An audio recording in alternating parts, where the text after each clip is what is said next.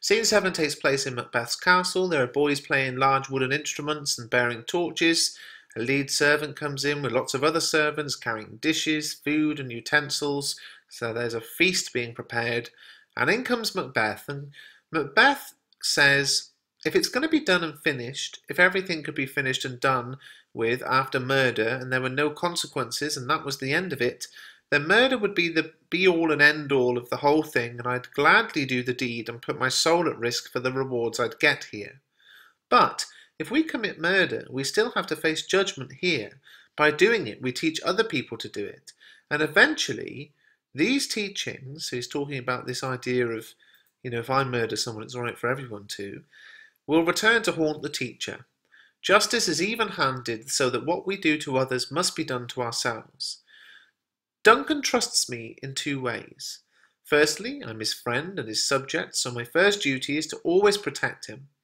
Secondly, I'm his host, so I should be protecting him against anyone who would want to murder him, not trying to murder him myself. Besides this, Duncan has been such a good and innocent leader that all these good things will be what people remember of him when he's dead, and they will play like angels playing trumpets against the terrible sin of his murder and pity, like a naked newborn child, will take flight on the wind and tell everyone of the terrible deed that has taken place, and they will all know, and they will all shed so many tears that it will be like a flood trying to drown the wind. There is nothing that can encourage me to do this except my ambition, which goes ahead of myself and brings me closer to disaster. So what's happened there, as I'll analyse in more detail in the next video, is Macbeth has essentially given a very logical um, list of reasons why he shouldn't murder Duncan. And then look what happens next. Enter Lady Macbeth.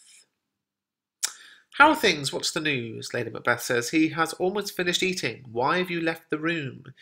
Macbeth asks, Did he ask for me? And Lady Macbeth says, Don't you know he has? Macbeth says, We can't go any further with this plan. He's given me lots of honours lately, and I've gained the respect and good opinions of lots of people. I should be enjoying all this new attention and respect, not throwing it away. Lady Macbeth then attacks him by saying, Were you drunk when we were speaking about this before? Have you fallen asleep and woken up all green and pale and afraid of what we planned before? From here on out, this is what I will think of your love. Are you so afraid to get what you want? Will you try to become king, the thing you want so badly, or will you live as a coward, always saying, I dare not, after you say, I want something, like the cat in that old story? And Macbeth begs her, Please stop, I'm willing to do everything I can to become a man. Whoever is willing to do more is not a man. Lady Macbeth says, What beast was it then that first thought of doing this? When you plan to do this, that's when you are a real man.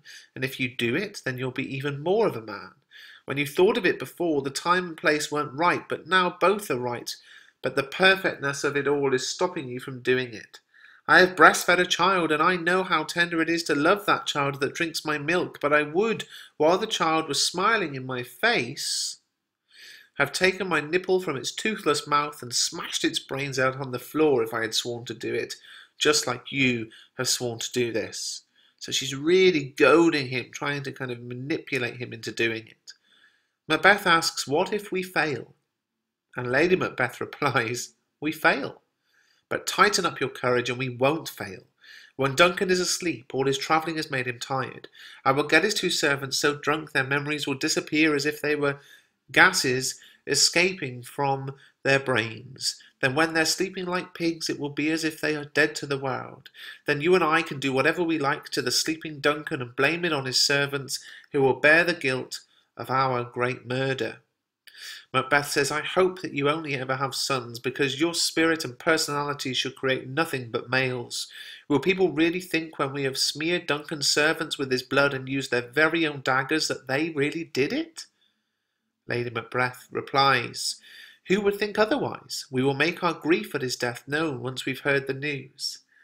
Macbeth says, I have decided to do it. I will do everything I can to commit this terrible crime. Go now and pretend to be an honourable hostess and hide with a friendly face the evil plan in your heart. So Act uh, 1 ends with Macbeth convinced and um, some could say manipulated or bullied into agreeing to murder the king. And um, yeah, let's see what happens in the next video. Please give this video a thumbs up if you found it useful.